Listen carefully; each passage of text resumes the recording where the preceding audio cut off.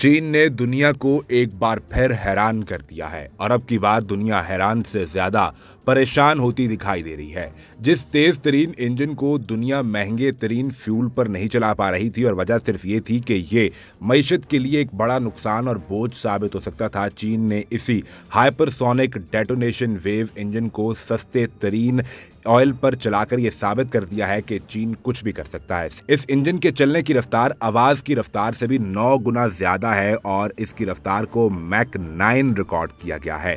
सामने आने वाली तफसीत के मुताबिक चीन में बीजिंग के J F twelve hypersonic shock tunnel में कुछ नए तजिए किए जा रहे थे। इन तजर्बों के दरमियान हाइपरसोनिक डेटोनेशन इंजन के मुतलिक पहले कोई खबर सामने ना आ सकी। अलबत् अब यह बताया गया है कि कैरोसिन ऑयल के ज़रिए इस इंजन को चलाया जा रहा है। दुनिया भर में इससे पहले भी एविएशन की फ़ील्ड में डेटोनेशन इंजन को इस्तेमाल किया जाता है, जो कि मैक एट तक की मैक्सिमम स्पीड फ्राहम करता है। लेकिन इसमें जो फ्यूल इस्तेमाल किया जाता है, उसे हाइड्रो फ्यूल कहा जाता है, जिसे हाइड्रोजन फ्यूल के नाम से भी दुनिया जानती है। ये अब तक का सबसे महँगा और सबसे ज़्यादा धमाका खेज फ्यूल है, जिसके बायस बहुत से ममालिक की मीशत ये ताकत नहीं रखती कि वो इसे इस्तेमाल कर पाए। लिहाजा जेट फ्यूल के तौर पर चीन के माहरीन की जानब से कैरोसिन ऑयल को तैयार किया गया और इसे डेटोनेशन इंजन में इस्तेमाल किया गया, जिसके बाद कई दफ़ा टेस्ट करने के बाद ये रिज़ल्ट सामने आया कि kerosene hypersonic detonation power engine Mach nine की स्पीड एक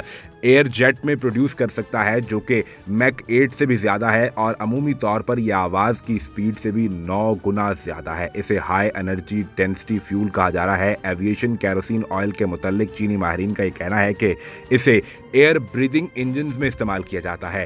ऐसे इंजन जो सामने की जानब से हवा लेते हैं और फिर अपने अंदर से इस हवा को निकालते हुए, यानी हवा को चीरते हुए जाते हैं। यही वजह है कि कैरोसिन ऑयल इस्तेमाल करने की वजह से इस इंजन की स्पीड पहले से भी कई गुना ज़्यादा रिकॉर्ड की गई है। चीन की जाने से तजिया दुनिया के लिए एक बड़ी खबर था और ना सिर्फ़ ये खबर था, बल्कि दुनिया इस पर अब परेशान भी नज़र आ रही है कि कैसे ये टेक्नोलॉजी हासिल की जाए, क्योंकि वो हाइड्रोजन फ्यूल के बायस इस इंजन को इस्तेमाल नहीं कर सकते और चीन ने कैरोसिन के ज़रिए इसको इस्तेमाल करने की टेक्नोलॉजी हासिल कर ली है।